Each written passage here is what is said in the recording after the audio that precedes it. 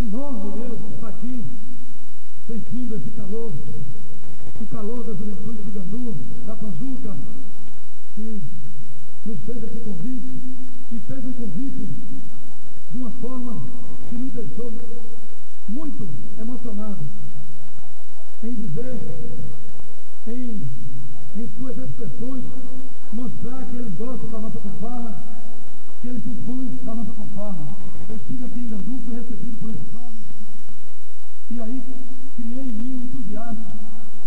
Tudo para que a fanfarra Integração da Bahia participasse desse evento.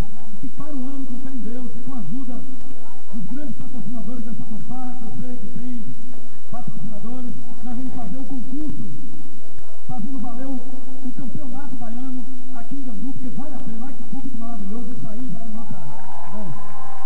E eu serei testemunha, junto com os meus colegas que acredito também vão aceitar o concurso Praça do Campeonato Baiano aqui em Gandu.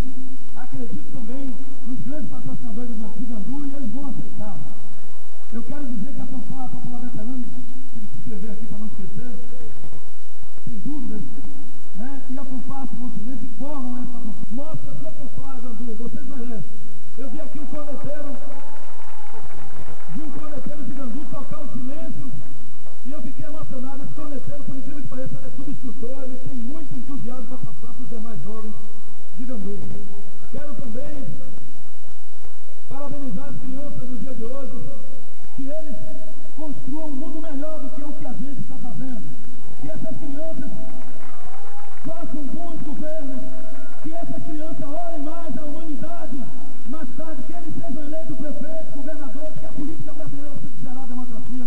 E isso, graças a Deus, nós temos e é por isso que nós conseguimos fazer muita coisa ainda. Né? Daqui a pouco, Panjuca, daqui a pouco.